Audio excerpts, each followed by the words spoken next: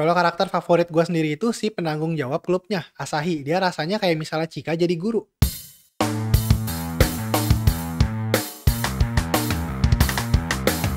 Cerita dimulai dari Daisuke yang lagi bingung mau masuk ke klub apa di sekolahnya. Tiba-tiba dia disuruh bawain barang ke gudang di luar sekolah. Pas dia masuk ke gudang itu, di dalamnya ada tiga cewek. Daisuke langsung keluar. Salah satu cewek, Chiaki, bilang kalau gudang sekolah lama udah nggak kepake dan gudang yang baru ada di dekat gerbang depan.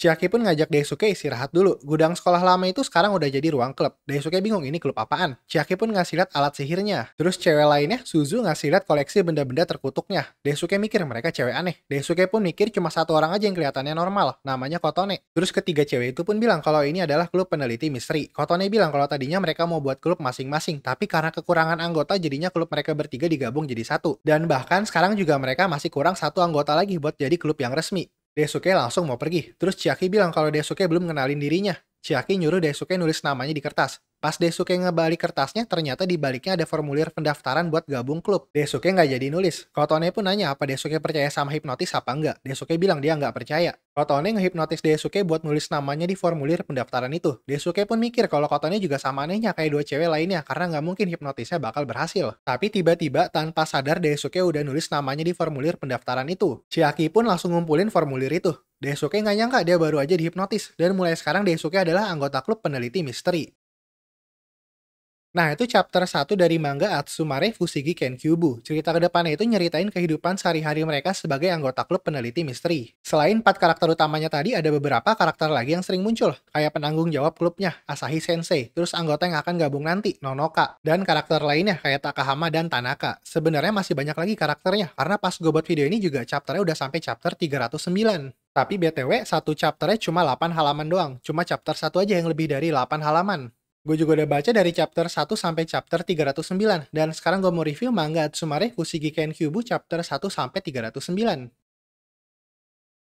Jadi ini komik komedi slice of life, tapi semakin berkembangnya cerita juga mulai ada romansnya. Mungkin bisa dibilang ini lama-lama jadi komik haram ya. Tapi untuk romansnya sendiri masih samar-samar. Jadi emang sih udah ada karakter yang jelas-jelas suka sama Daisuke. Tapi plot ceritanya arahnya lebih ke komedinya daripada romansnya. Jadi buat yang baca ini terus ngarapin mau ngeliat kisah cintanya Daisuke, dijamin kalian bakal kecewa ya. Karena sampai chapter 300-an pun belum ketahuan Daisuke sukanya sama siapa. Jadi mungkin bisa dibilang romansnya perkembangannya lambat banget. Tapi kalau kalian baca ini emang karena komedinya, gue masih yakin sih kalau kalian bakal suka sama manga ini. Emang sih yang dianggap lucu sama setiap orang beda-beda. Tapi masalah itu kebantu sama format di komik ini. Jadi komik ini kan satu chapter itu cuma 8 halaman ya. Jadinya satu chapter dibaca juga nggak nyampe 15 menit kali. Nah, maksud gue tuh kalau misalnya kalian nganggap nggak lucu, tapi karena ini cuma 8 halaman, jadinya cepet banget kan buat ganti ke chapter berikutnya. Terus karena ini slice of life yang di mana chapter berikutnya juga udah nyeritain sesuatu yang beda, jadi walaupun kalian nggak suka sama komedinya di suatu chapter tertentu, kalian nggak akan berlama-lama di chapter itu, karena ya emang cuma 8 halaman doang. Kalau buat gue sendiri, walaupun ada komedinya yang gue nggak suka juga, tapi jauh masih lebih banyak yang gue sukanya.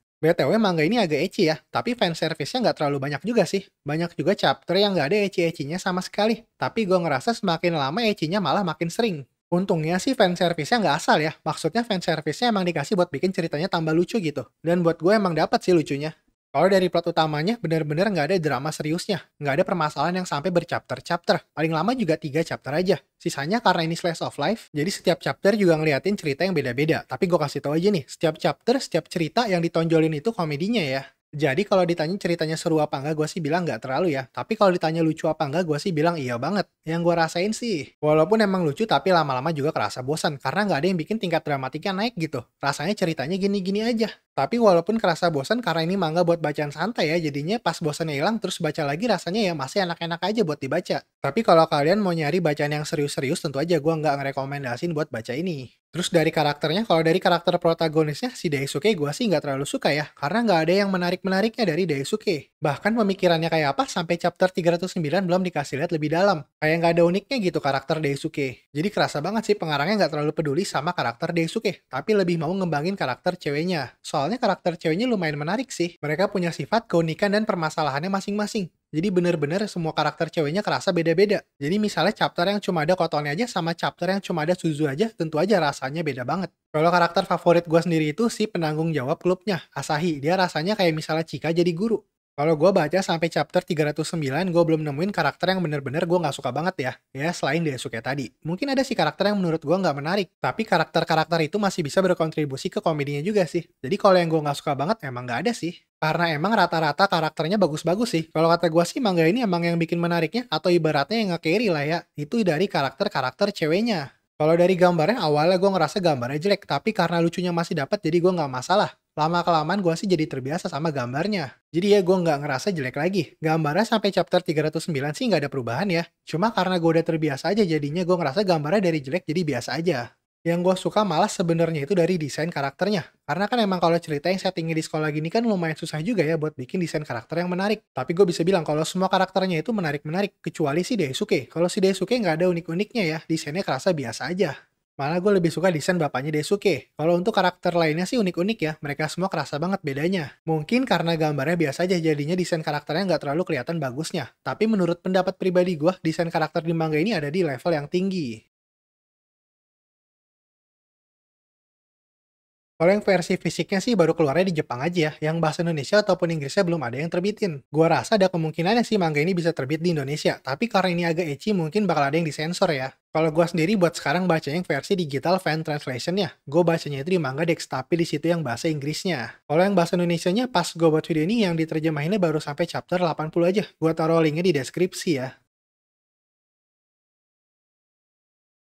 Karena ini slice of life yang setiap chapter nyeritain hal yang baru dan terus juga satu chapter cuma 8 halaman jadinya ini bener-bener bacaan yang santai ya. Bener-bener nggak ada drama yang seriusnya. Tapi kayaknya emang niat pengarangnya begitu. Jadi yang ditonjolin di manga ini itu komedinya. Dan bener kerasa bagus sih komedinya. Karakter-karakternya juga menarik-menarik. Kecuali karakter utamanya si Daisuke. Dia sih nggak menarik ya. Tapi karakter lainnya bagus-bagus. Keseluruhan sih gue ngerasa manga ini bagus ya. Walaupun dari gambarnya biasa aja, tapi desain karakternya oke banget. Segitu aja review dari gue untuk manga Atsumare Fusigi Kyubu chapter 1-309. Semoga kalian suka ya sama videonya. Kalau suka bisa di like dan subscribe. Kalau nggak suka bisa di dislike. Oke, terima kasih udah menonton. Sampai ketemu di video berikutnya. Bye-bye.